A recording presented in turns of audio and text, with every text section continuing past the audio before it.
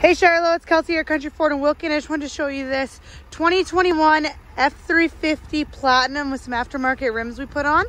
Um, it looks really good. Uh, it's got backup camera, tailgate step. It does have the fifth wheel prep, as, as you can see there.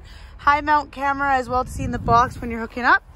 I'll take you to the back seat. It's got that nice black leather interior here. Uh, nice rubber floor mats.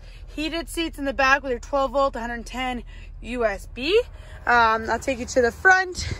You got key code to get in as well as passive entry. Uh, in the handle. We'll unlock it. Push the button, we'll lock it. You got your uh, display center right here. You got your Bluetooth, you got your climate control, you got your navigation, you got your heated steering wheel, uh, you got your dual climate control, heated and cooled seats as well. Here you are, you have your charging pad where you can put your phone there and it'll charge. Does have lane keeping as well. If you push here the front, the camera, you can see the front camera and the side view. If you push it again, uh, I guess push it here, there's more option. You can see different angles as well, as well as you can see what's in the box right here. So there's that also. Um, you got your 4x4 there, your trailer back up. It's a push start. It is diesel. Uh, you also have, you got adaptive cruise, so you can turn on your cruise control.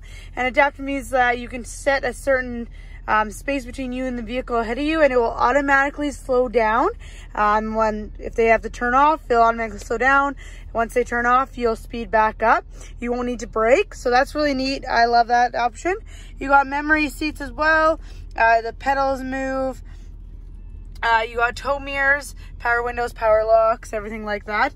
You also, as well, if you go into your settings here the very back, you got seats. This allows you to have massaging seats.